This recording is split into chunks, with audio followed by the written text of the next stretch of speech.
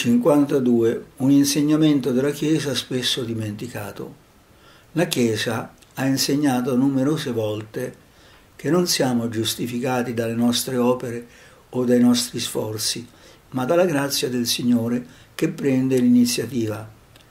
I padri della Chiesa, anche prima di Sant'Agostino, hanno espresso con chiarezza questa convinzione primaria.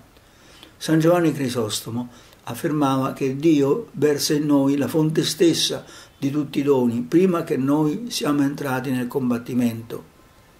San Basilio Magno rimarcava che il fedele si gloria solo in Dio, perché riconosce di essere privo della vera giustizia, è giustificato unicamente mediante la fede in Cristo. 53.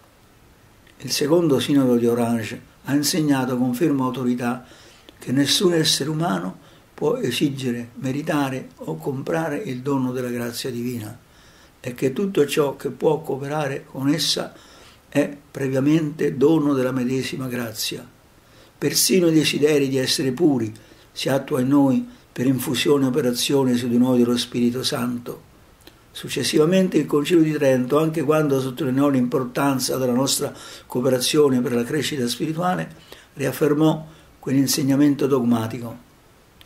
Si afferma che siamo giustificati gratuitamente, perché nulla di quanto precede la giustificazione, sia la fede, siano le opere, merita la grazia stessa della giustificazione, perché se è grazia, allora non è per le opere, altrimenti la grazia non sarebbe più grazia.